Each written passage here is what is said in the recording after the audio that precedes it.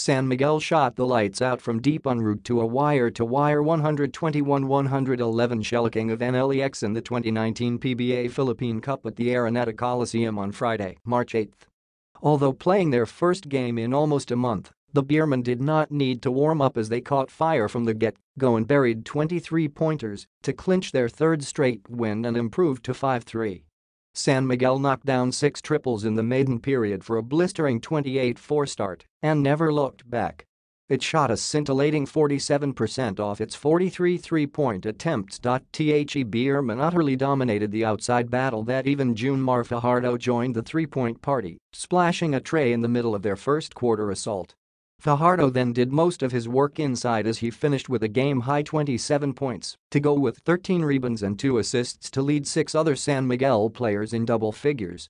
Alex Cabagnot finished with 18 points, 4 rebounds, 3 assists and 3 steals, while Arwind Santos fired 17 points off 4 triple to go with 6 rebounds, 5 assists, 4 steals and 2 blocks in the win.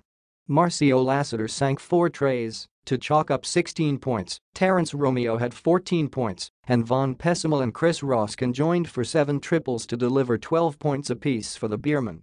Seven players also breached twin digits for the Road Warriors, but they failed to overcome their lethargic start as they fell to 2-5. J.R. Quiñahan had 17 points and 10 rebounds, Juami Tiongson added 16 points and 13 assists, while Poy Erram chipped in 16 points in the losing effort.